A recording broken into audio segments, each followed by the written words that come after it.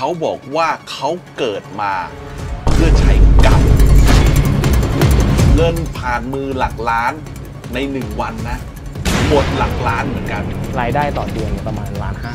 หักแล้วประมาณ5้าแสนต่อที่อู้แล้วใช่เงินมันไปไหนหมดอะ จ่ายหนี้ครับ มีบ้านไหมตอนนี้ ไม่มีครับ มีรถไหมไม่มีครับอ้าวแล้วคุณนอนไหน ก็นอนนอนนอนบ้านพ่อบ้านแม่ยังไม่มีอะไรเป็นของตัวเอง รายได้ขนาดเนี้ยอ่าส้มเห็นผู้หญิงคนหนึ่งที่ติดตามเขา นอกจากผู้หญิงคนนี้แล้วมีเด็ก เด็กแบบเด็กเบบียืนเนี่ยอยู่ตรงนี้เลยเนี่ยตัวเท่าเนี้ยเคยไปยุยงส่งเสริมทำอะไรผิดมาหรือเปล่าทำแท้งทำอะไรให้เขาสิสูญเสีย หรือว่าทำให้เขาเกิดความอาฆาตเป็นเกี่ยวกับเรื่องชีวิตเนี่ยมีไหมคือตอนที่เขามาขอยืมเราอะเขาไม่ได้บอกครับ แต่ว่าพอเอาเงินให้เขาไปแล้วอะอืมเขามาเฉลยตอนหลังกับเราว่าทำแบบนั้นว่าทำแบบนั้น